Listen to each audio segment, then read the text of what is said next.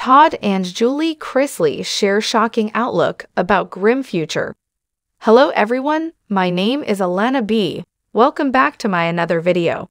I hope everyone is having a wonderful day. Before starting the video, please go ahead and hit the subscribe button and give this video a like up. Living every day like it is her last as she prepares to go to prison. Julie Chrisley has made the realization that her children are watching her every move. The Chrisley Knows Best star explained during her most recent podcast episode that she's realized every move she makes during this difficult time is being watched by her children. So she's trying to keep herself composed and lean on her faith for strength during this nightmare. Julie Chrisley realizes her children are watching her. During the most recent podcast episode, Julie Chrisley admitted there were a lot of challenges with their current situation. One of the biggest challenges for her, however, is realizing that her children are witnessing her every move right now.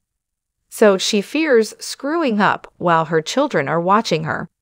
If I handle it right, they're watching. If I screw it up, they're watching, and so, for me as a parent, I want to try to make sure that I do it right more than I do it wrong, because I know they're watching and I know it will prepare them for difficulties, unfortunately, that they will have later in life.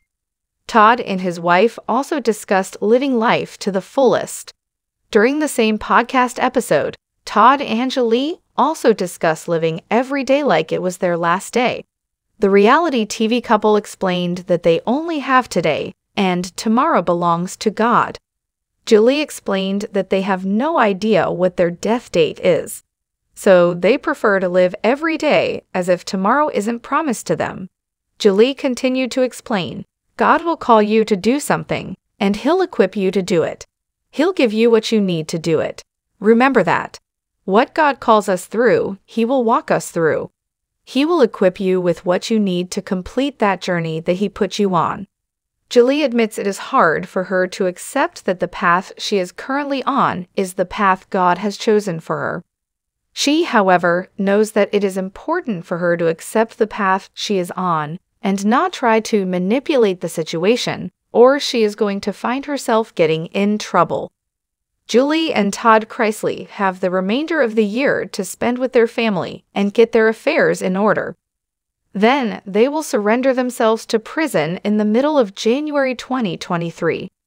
Are you surprised Julie Chrisley is only now realizing she's a role model to her children? Let us know your thoughts in the comments down below, and keep coming back for the latest Chrisley news. Thanks for watching this video. Please subscribe to our YouTube channel, America Trends 24, and stay with us.